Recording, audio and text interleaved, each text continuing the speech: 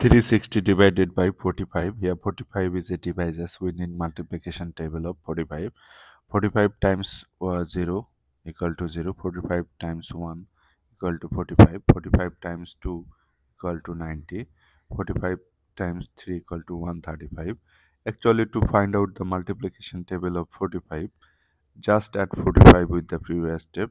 0 plus 45 45 45 plus 45 90 90 plus 45 134 135 135 plus 45 180 this process will continue. Now 45 goes into our considered uh, dividend 3 how how many times? 0 times. As 3 our current dividend 3 is less than 45 0 times 45 0 times 45 which gives us 0 subtract you are getting 3 bring down the next digit now we have 36 45 goes into 36 again 0 times as our considered dividend 36 is less than 45 0 times 45 0 subtract you are getting 36 bring down this 0 now 45 goes into 30 30 uh, 360 how many times? You need to uh, guess a number like uh, 2 3 4 5 and then multiply with this number with this number. And you need to check after writing here. So look we'll check this multiplication table.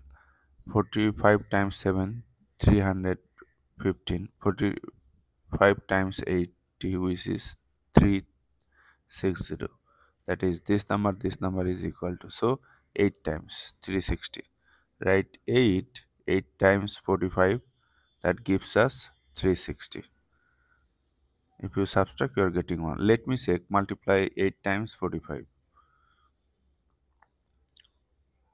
8 times 5 40 write 0 carry 4 to the next column. 8 times 4 32 32 plus 4